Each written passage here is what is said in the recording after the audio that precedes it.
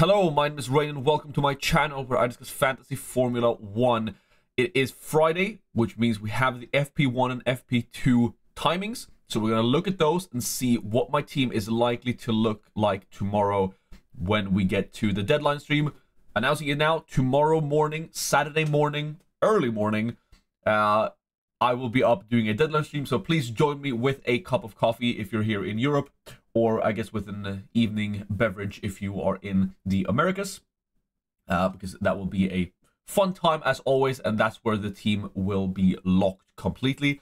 And if you haven't seen a different announcement entirely, earlier this week I posted a video titled something like "Oh, everything wrong with F1 Fantasy." That's not just a rant video; it actually has very, very interesting and important um, bit of news in it, and that is that uh, FanAmp uh, F1 Fantasy Rob, Greg, uh, all of those guys, they have made a semi-official F1 Fantasy survey, like end of season survey, that F1, the actual F1 Fantasy, will use at the end of the season to sort of pull together and, and see how successful uh, F1 Fantasy was. So if you want to leave your opinion on the game, do so in the description below. You have until the Abu Dhabi Grand Prix to do so. It's really important that as many people as possible fill this out. Uh, it's backed by all of us content creators, and uh, it, it's basically the best way to improve this game for the future. And uh, uh well, I, you can watch the video. I'll leave a link in the video uh, down below as well that I posted earlier in the week if you want to hear my thoughts on it, what I think needs to be changed. Uh, but it, you don't even have to watch that video. Just fill in the survey. It takes like seven to ten minutes. And uh, I mean, if you're watching this video, it means you've been playing F1 Fantasy, presumably for the entire year. So surely you can spend 10 minutes doing that survey. I wouldn't ask it of you if I didn't think it was important, but I do think it's important. So thank you so much. Let's get into my team selection for the Las Vegas Grand Prix. So this was my team back in Sao Paulo, running double uh, McLaren driver, triple McLaren, right, with Yuki Tsunoda, Frank Colapinto, Valtteri Bottas, and Ferrari. And I'm not going to discuss what happened in Sao Paulo. I have an entire review video for that that I posted at the end of that Grand Prix. But what is important then is, you know, this is what my team looks like. This is where my team is, is you know, stationed. Uh, I have that, you know, Yuki Tsunoda asset, which I really like, and I'm probably going to keep. I have Valtteri Bottas, which I don't like, but I might like a bit more, and I'll tell you why in a second. And then Franco Colapinto, who's obviously been, uh, I mean, the GOAT asset since he, he joined the game. Disappointing showing in Brazil, sure, but I mean, you can't argue with these numbers beforehand. So, overall, I'm quite I was quite pleased with my team going into this weekend. And then, as always, free practice comes and uh, completely screws it up. So, if you didn't see free practice, uh, Mercedes look fast, right? Mercedes look fast, and I haven't looked, you know, in depth at all the data yet on long run pace and the like, but I will be doing that tomorrow on the deadline stream. But seeing these numbers and Lewis being on top, makes me wanna get Mercedes in. Uh, and for as much as Mercedes has uh, screwed me over the course of the season, uh, they haven't screwed me that much. I've been more screwed by by other things, but Mercedes haven't been fantastic, and I've I've missed their highs, and I've been there for some of their lows. So this looks like it could be the race for Mercedes. Now, why is this? Maybe it's the temperature. We've seen this multiple times throughout the season that Mercedes and Ferrari are sort of the opposite. That Ferrari work really well in, in warm weather, whereas Mercedes work really well when it's colder. We saw this in Silverstone. We saw this in Singapore. We saw this in Mexico. Like, uh, well, maybe not Mexico because I don't know the temperature there, but you get what I'm saying. What's important is that the when we see someone being at top of the uh, practice standings, they have usually been relatively good. And especially since we're not expecting a change in the weather, like this is what free practice do. This is what we think is going to happen in qualifying, right? Now, granted, it is a very, very, very tiny margin, of course, to uh, Lando Norris. But I don't think I'm getting rid of Lando Norris anyway.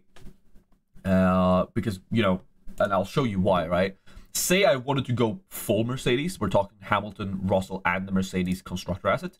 Because if you're sitting like me, you're watching FP1, FP2 thinking, I need to get Mercedes in, you should prioritize getting the constructor in for Mercedes first and then the, their drivers. So obviously it would have to be this first. And then if I then decided like, oh, I want to go all in and go for triple Mercedes, suddenly I sit here with 6.1 million in the bank and nothing to do with it because I only have these three free transfers. It's like, yes, I could go and upgrade someone like a Valtteri Bottas, but Valtteri Bottas has a five place grid penalty, meaning he's likely to start P20 and meaning he's likely to be the Zhou of this race. And I mean, look at what Zhou has done for the past couple of races, right? This is what happens when Zhou starts P20 every race. I think this could be what Bottas is on for, like, you know, a, a seven pointer, six pointer, something like that. So I don't even necessarily want to get rid of Valtteri Bottas. Maybe the upgrade would be Yuki Tsunoda to like a Kevin Magnussen. But even then, it feels like I'm leaving a lot of budget here. And, and again, I wouldn't use a minus 10 hit to get Yuki Tsunoda out for Kevin Magnussen. I don't have my wild card. So in any case, like in, in any situation, I am not getting triple Mercedes because I can't use the budget to upgrade. So for that reason, and because Mercedes assets are cheaper than Piastri, than Ferrari, I am keeping Lando Norris. I that's just I, am keeping Lando Norris. McLaren are too good. Surely he has to perform at some point. I'm not saying he's been atrocious, but he hasn't lived up to his potential this year. And so a likely move for me, if I want to go for the constructor or we want to go for the Mercedes punt, right, is to get rid of Ferrari and get uh, Hamilton and Mercedes in there. And then with this 1.4 million, I could upgrade Yuki Tsunoda to a Nico Hulkenberg. That's the highest I could go, uh, which feels like a, a, decent upgrade. I don't hate that uh, at all. Uh, but I could also see myself just rolling an, another transfer and staying on three. The reason I would, you know, stay on one free transfer, so I have three free transfers in Qatar. Again, Qatar is a sprint weekend, meaning Qatar is uh, way more valuable, right, than Las Vegas because there's more points to gain. And if it's warm there, which I guess it's going to be, I think Mercedes might be bad. And if Mercedes are bad, I would want to get Ferrari back in. And if I use that third transfer to get Nico Hulkenberg in, I can't get Ferrari back in. Actually, I could, but with Carlos Sainz, I can't get Leclerc back in. So maybe the Nico Hulkenberg's fine. That maybe the Nico Hulkenberg trade is fine, but this would this would be what I would then swap to in in Qatar.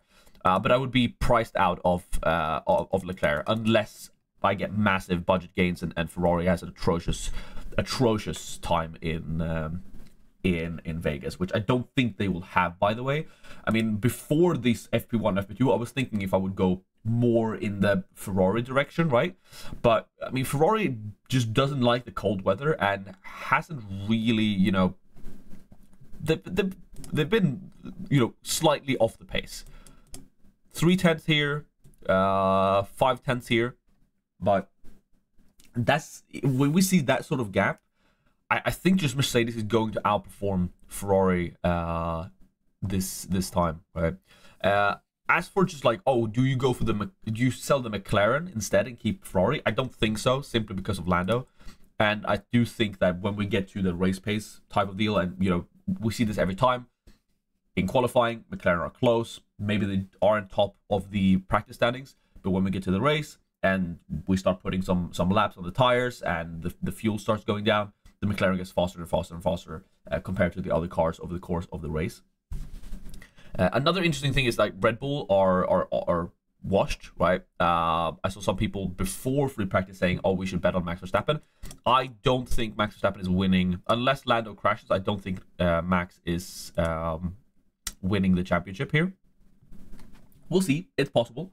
Uh, but the Red Bull looks really bad, and apparently there's news that he brought they, they brought the wrong rear wing. I don't know how that happened, but or if it's true, but I saw Marko talk about it, and if Marko is slandering the team, then then something's happened, right?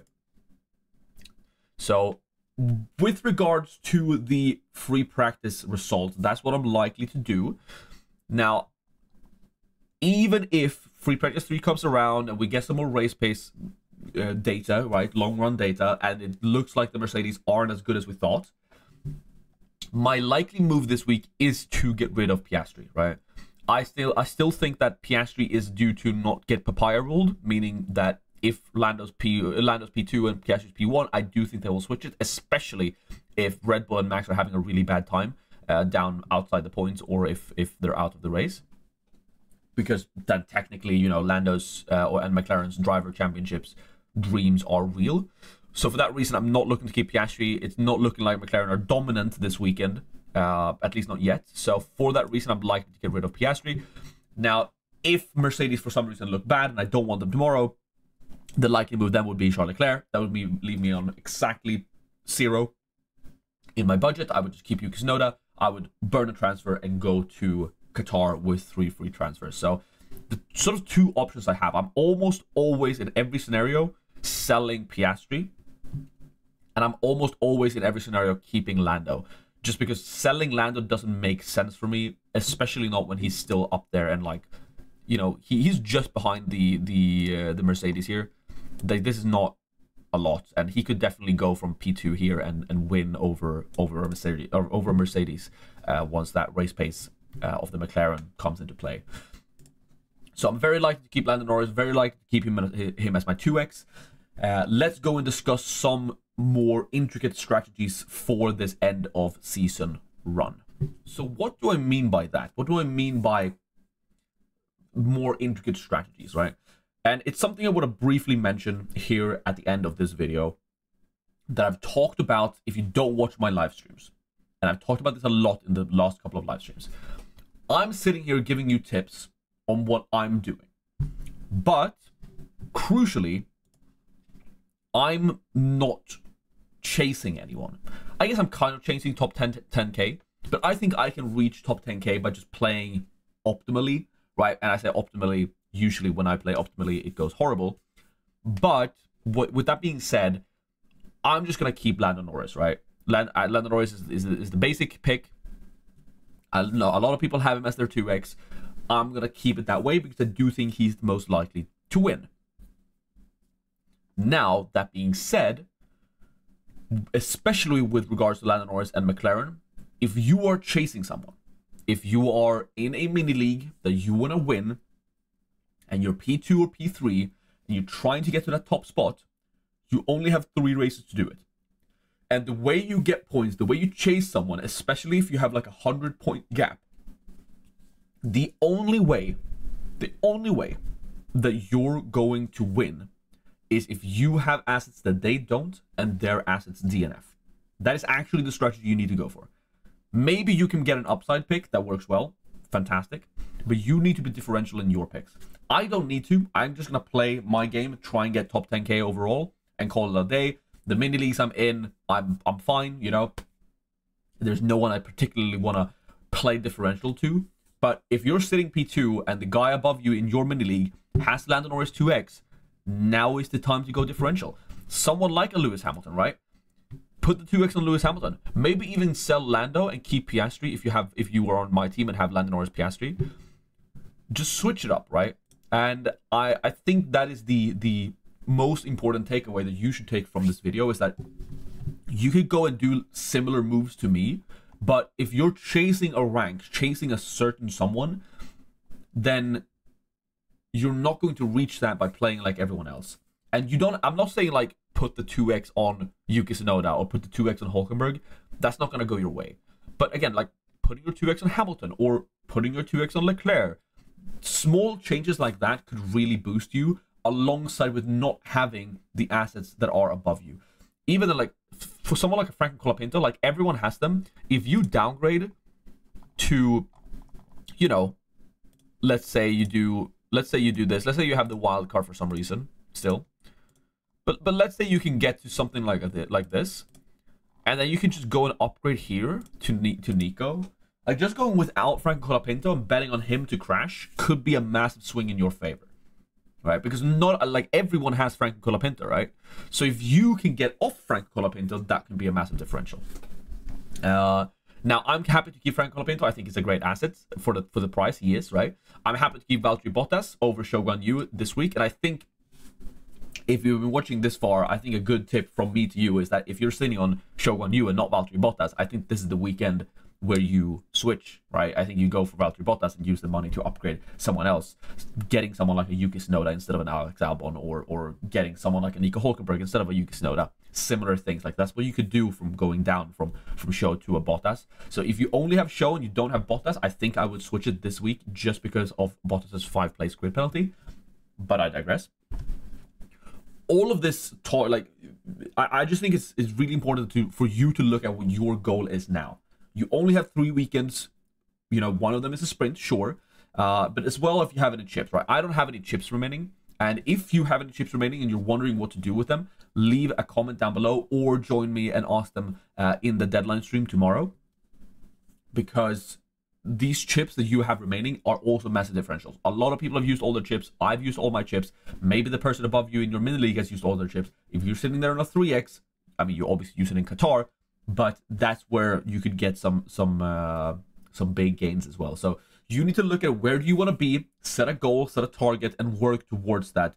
If that is by playing optimally by having Lando 2x, such as me, I feel like I could probably gain 117 places by playing with with Lando, right? Then go for that. But if you are further behind or chasing someone specifically in specific league, play differential. Not super differential, but just differential enough to where you can actually mathematically make up that difference. And I think that's all I wanted to discuss. I'll see you tomorrow in the deadline stream. Thank you so much for watching. Don't forget to subscribe. Please do. Uh, don't forget to like the video. And again, if you have any questions regarding your team, leave them in the comment below or join me for the deadline stream tomorrow morning. Do not miss it two hours before the deadline. So in 14 hours time, well, when this video goes live, it's probably going to be like 12 hours time. Uh, so I'll see you then. Thank you so much for watching. Peace. Oh, and don't forget to do the survey. Link, link, link below. Do, do the survey.